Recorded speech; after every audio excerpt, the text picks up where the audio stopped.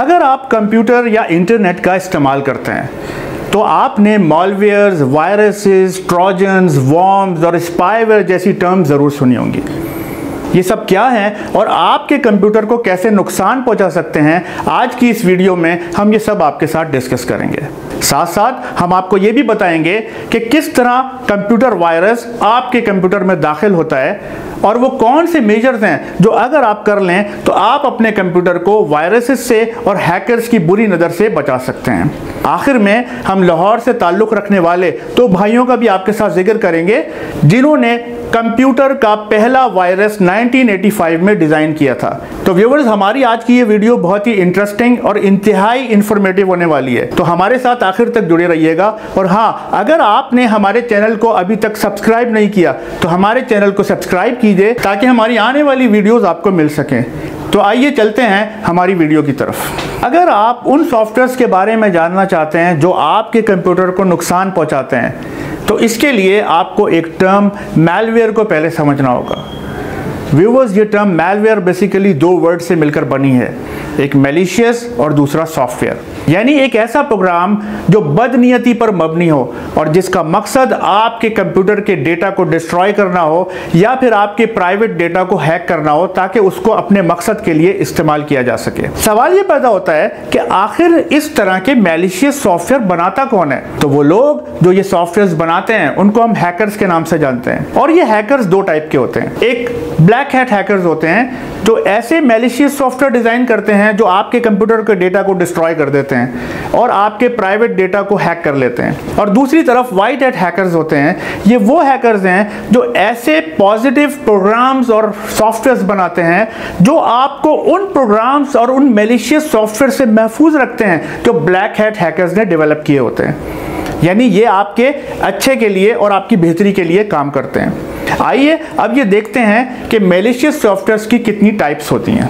Malware की सबसे पहली टाइप जिसको आप कंप्यूटर वायरस के नाम से जानते हैं। कंप्यूटर वायरस एक ऐसा मेलिशियस प्रोग्राम होता है जो आपके कंप्यूटर में दाखिल होता है और फिर बहुत सारी प्रॉब्लम्स क्रिएट कर देता है और उसकी बहुत सारी मिसालें हो सकती हैं। वायरस के अंदर दो खसूसियात होती हैं। एक तो ये कि ये सेल्फ रेप्लीकेटेड होता है। ये खुद से अपनी कॉपीज क्रिएट कर सकता है।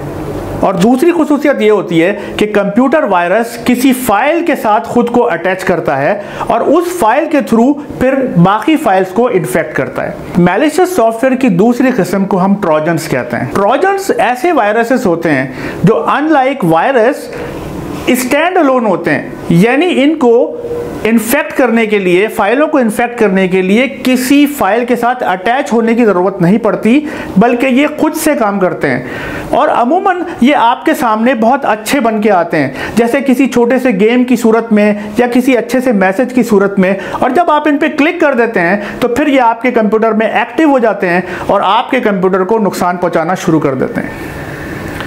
इसके अलावा मेलिशियस सॉफ्टवेयर की तीसरी किस्म जो है, वो टाइम बॉम्ब कहलाती है।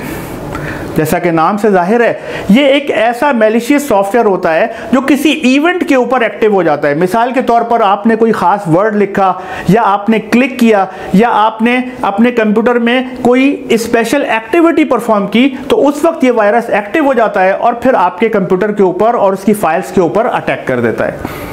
इसके अलावा मेलिशियस सॉफ्टवेयर की चौथी बड़ी किस्म जो है, उसको हम वॉर्म्स कहते हैं। और ये बहुत कॉमन है। आपने अक्सर देखा होगा कि आपका कंप्यूटर एकदम से स्लो हो जाता है। इसकी वजह ये होती है कि उसमें एक ऐसा मेलिशियस सॉफ्टवेयर आ जाता है, जिसको हम वॉर्म कहते हैं, और वॉर्म अपनी कॉपीज़ बनाना शुरू कर देता है।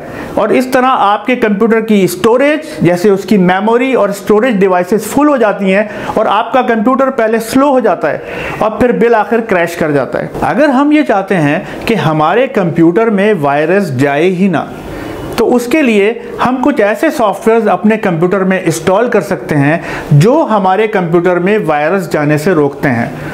और ऐसे प्रोग्राम्स को हम एंटीवायरस प्रोग्राम्स कहते हैं। जैसे मिसाल के तौर पर Norton antivirus Avast antivirus Nod antivirus McAfee antivirus और इसके अलावा पंद्रह हज़ार से ज़्यादा कंपनीज़ हैं जो एंटीवायरस सॉफ्टवेयर बनाती हैं। ये सॉफ्टवेयर किस तरह काम करते हैं? जब आप कोई भी फ़ाइल रीड करते हैं तो एंटीवायरस प्रोग्राम आपकी उस फ़ाइल को मेमोरी में जाने से पहले उसके अंदर वायरस चेक करता है।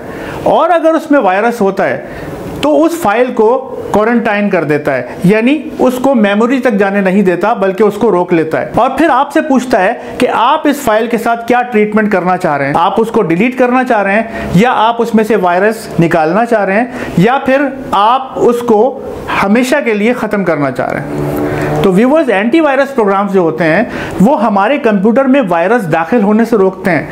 लेकिन यहाँ पर एक बात बहुत इंपॉर्टेंट है।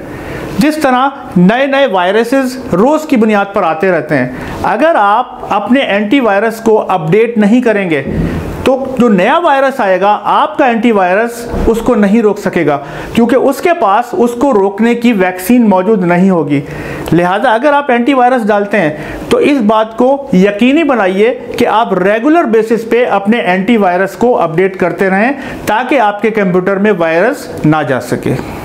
1984 में लाहौर में ब्रेन प्राइवेट लिमिटेड के नाम से एक कंपनी थी और ये कंपनी ऐसे सॉफ्टवेयर बनाती थी जो मेडिकल इक्विपमेंट में इस्तेमाल किए जाते थे, जैसे एक्सरे मशीन्स या रेडियो वेव मशीन वगैरह। अब प्रॉब्लम ये था कि ये कंपनी जो सॉफ्टवेयर बनाती थी, लोग इसका ट्रायल वर्जन जो है, उसकी प्राइवेसी को एडिट करते थे और उसको इस्तेमाल करते चले जाते थे। और ये कंपनी मुसलसल लॉस में जा रही थी। इस कंपनी में दो भाई काम करते थे, जिनको दुनिया अलवी ब्रदर्स के नाम से जानती है। इन्होंने ये डिसाइड किया कि क्यों ना एक ऐसा प्रोग्राम बनाया जाए जो ओरिजिनल प्रोग्राम के साथ अटैच कर दिया जाए और अगर कोई उनके कंप्यूटर के साथ छेड़छाड़ करे या उनकी सॉफ्टवेयर के साथ छेड़छाड़ करे तो वो प्रोग्राम एक्टिव हो जाए और उस कंप्यूटर का सारा डेटा डिस्ट्रॉय कर दे। लिहाजा उन्होंने ऐसा ही किया और एक ऐसा प्रोग्राम बनाया कि जब भी कोई उनकी प्राइवेसी उनके सॉफ्टवेयर की प्राइवेसी के साथ छेड़छाड़ करता था तो वो प्रोग्राम एक्टिव हो जाता था और स्क्रीन पर गुड बाय का एक मैसेज आता था और उस कंप्यूटर का सारा डेटा डिस्ट्रॉय हो जाता था। तो व्यूवर्स, ये वो पहला कंप्यूटर वायरस था जो पाकिस्तान में लाहौर से ताल्लुक रखने वाले दो भाइयों ने बनाया और ये वायरस पूरी दुनिया में बहुत ही ज़्यादा मशहूर हुआ। अगर आपको हमारी आज की ये वीडियो पसंद आई है तो आप इसको ज़रूर लाइक कीजिएगा और अपने फ्रेंड्स और फैमिली मेंबर्स के साथ ज़रूर शेयर कीजिएगा और कमेंट सेक्शन में अपनी राय का इजहार ज़रूर कीजिएगा।